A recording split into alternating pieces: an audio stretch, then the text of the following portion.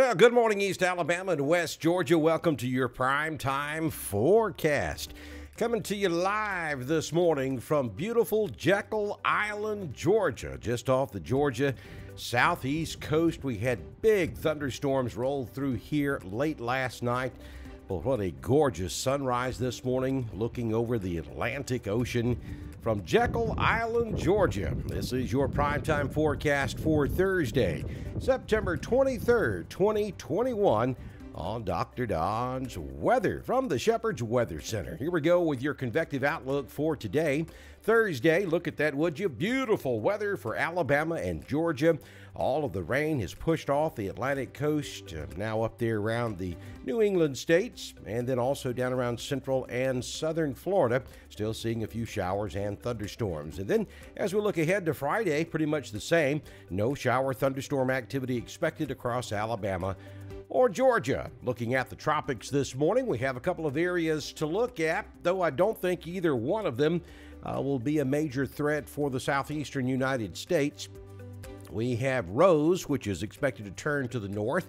And then we have 18. I think 18 does bear watching, but right now the long range forecast models are all suggesting that 18 will turn back to the north as well. Daytime high temperatures expected your Thursday afternoon on the first full day of fall, and it is certainly going to feel that way. 72 the high this afternoon in Roanoke. Ashland goes to 72.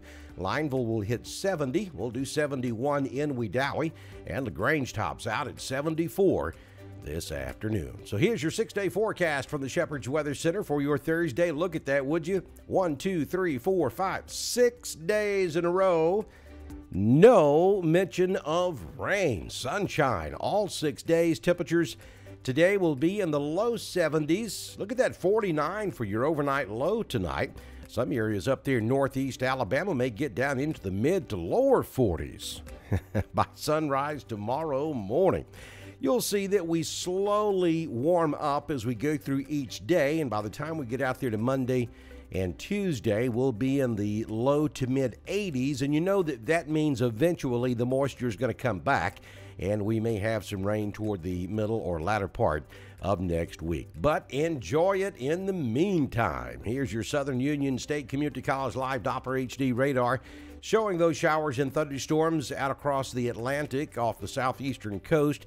That's the cold front that came through yesterday afternoon to welcome the official start of fall at 3:20 p.m. Central yesterday afternoon.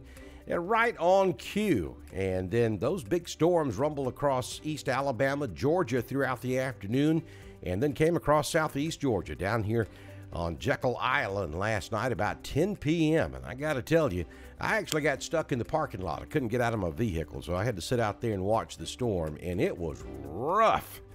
that was some nasty lightning when it came through this part of the country. Folks, uh, I'm going to be on the road for a couple of days, but we're going to continue to bring you the weather forecast. So, hope that you have a fantastic rest of your Thursday. Good Lord willing, and the creek don't rise. I'll see you back in here tomorrow morning with your Friday morning edition of your prime time forecast. From Dr. Don's weather, I'll have a fantastic Thursday. Enjoy this weather. I'll see you tomorrow. Bye now.